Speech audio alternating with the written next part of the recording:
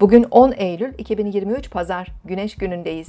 Yengeç burcunda ilerleyen ay sabah erken saatlerde Boğa burcundaki Uranüs'te uyumlu görünümde olacak. Yaratıcılığımızın yüksek olacağı sabah saatlerinde heyecan yaratacak ani sürpriz durumlarla da karşılaşabiliriz.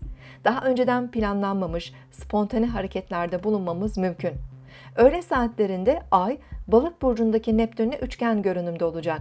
Duygularımızın ve sezgilerimizin güçleneceği öğle saatlerinden itibaren sevdiğimiz kişiler ve yakınlarımızla paylaşımlarımız mutluluk verebilir. Özel ve sosyal ilişkilerde daha duyarlı olabilir, rahatlıkla empati yapabiliriz. Sanatsal faaliyetlere yönelebiliriz. Ruhsal ve bilinçaltına yönelik her konuda verim yükselebilir. Yengeç, akrep, balık, boğa ve oğlak burçları bu etkiyi daha güçlü hissedebilir. Yengeç burcundaki ay 15.47'de Oğlak burcundaki Plüton'la yaptığı karşıt açının ardından boşluğa girecek. Öğleden sonraki saatlerde duygusal baskılar hissedebiliriz.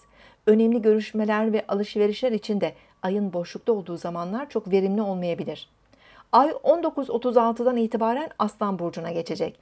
Aslan Burcu'ndaki ay önümüzdeki iki gün sosyal yaşam ve eğlenceli konulara ilgimizi arttırabilir.